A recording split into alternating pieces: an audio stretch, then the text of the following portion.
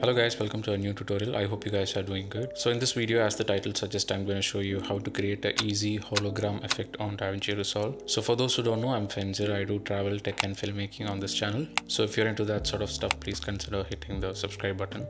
So let's dive into DaVinci Resolve to show you how it's done.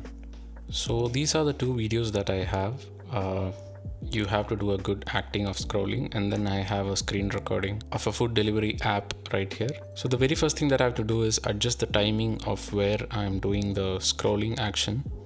Then you come to open effects and search for transform and then just drag and drop it to the screen recording video. Then come down to image adjustment, click this crop, then press edge rounding uh, somewhere about there then I can zoom out a little bit and maybe change the position somewhere around here wherever I'm happy with.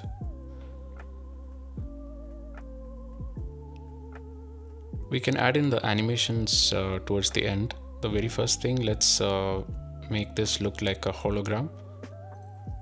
So I think this is where the scrolling action takes place so let me just adjust it. Just play with it uh, make sure the timing is okay. So once you do that come to fusion. So I press shift plus spacebar and search for scan lines. Just press add. And just change the line frequency to 13 around 13 it's like a it looks like a hologram once you do this. And the next thing that I want to do is add in a glow. Uh, before that let me change the color of the scan lines to maybe like light blue.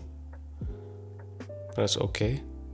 Then the glow is too much. You don't want that much. So you can just uh, you know reduce the glow. Now let's come to the edit page and let's see how it is.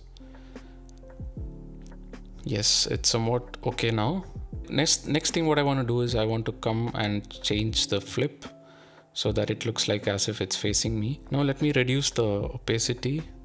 Uh, maybe I'll make it like 70 then right click new compound clip. Then I can play with the pitch and you know or the yaw so it, you get this nice uh, floating hologram effect. Let me zoom in a bit. Maybe change the position. Next thing what I want to do is come to open effects. Search for camera shake. Bring it here. Now I want to change a couple of things here. This is too fast you don't want that much.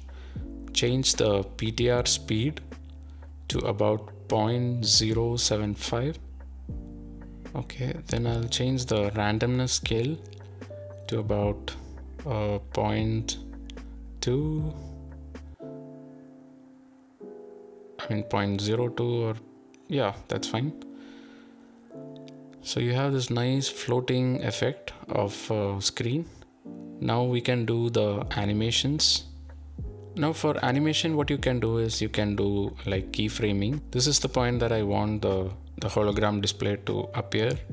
So I'm going to mark a keyframe on zoom and also on position. Then come a little frame back where I'm doing the zoom in. So I can just reduce the size. About there yeah maybe about there. So now if I play now you can see the zoom is very bad. So for that all you have to do is come to the keyframe right click. There is an option called ease in. Go to the first keyframe ease out. So now it's a smooth zoom in. You can also change the keyframe of the position. So like this is the portion that it comes in frame so just before that you can just move it away again right click ease out right click ease in So once you play with the keyframe and the animation, you'll have something like this. Now you can again add in further details. Now as you can see, it's a hologram that's coming near us. So obviously there will be a sort of a glow around us like a shadow. So for that, what I have to do is I'm going to right click this and make a new fusion clip. Now, first thing that I'll do is mark the point where I want the glow to affect the overall image and also the point where the glow is not supposed to take any effect. So in this case, this is the point that the hologram appears here. So I'll mark M. I'll press M on the keyboard. Then I'll go uh, this frame where it zooms in. So again, a little more glow will happen. Then I come where it disappears from the frame. Yeah, I think, yeah. There also I'll mark a point M. Now I'll come to fusion page open in fusion page. Select this one background without selecting anything. Just join this from here to here now I'll change the color of the background to white. As you can see the full image is white. I'm gonna fix this. Just click on this polygon. Whichever area you draw that background will act upon it. So I want this area to lit up. Now as you can see it's completely white. So I'll adjust the soft edge right here. And in the merge I will change the apply mode to screen um, maybe it's a bit too much but you can change the blending like this yeah I can add in one more polygon node. Uh, I also want this part of my face also to lit up. Same step, increase the soft edge, about there is fine. Okay, now as you can see the in the overall shot this glow is happening, you don't want that, which is why we did the markers. So come to keyframe and you can see the marker points right here. I'll come to a point uh, this is the point where I'm zooming in. So I'll put a keyframe there.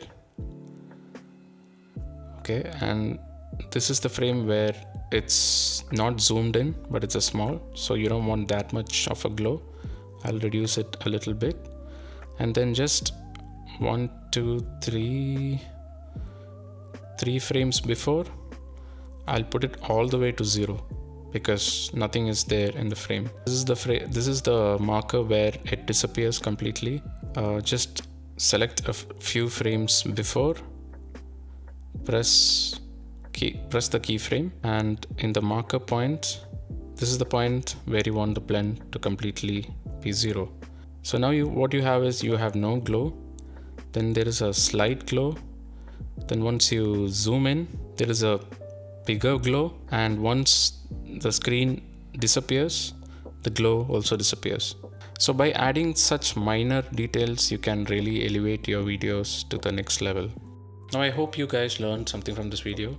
That's pretty much it for this video. Let me know what other tutorials you need in the comments. So that's pretty much it. Uh, thank you all for watching and I'll see you all in the next one.